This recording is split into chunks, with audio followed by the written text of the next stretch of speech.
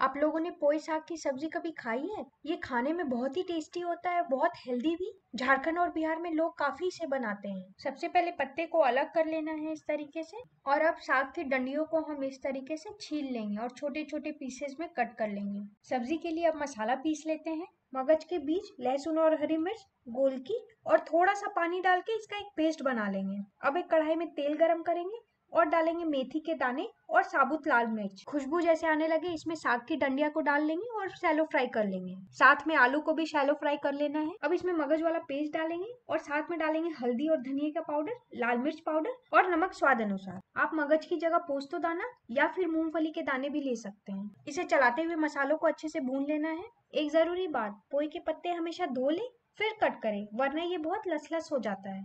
Low flame पर चलाते हुए तीन से चार मिनट के लिए साग को कुक कर लेंगे। अब इसमें थोड़ा सा पानी डालेंगे और गरम मसाला पाउडर।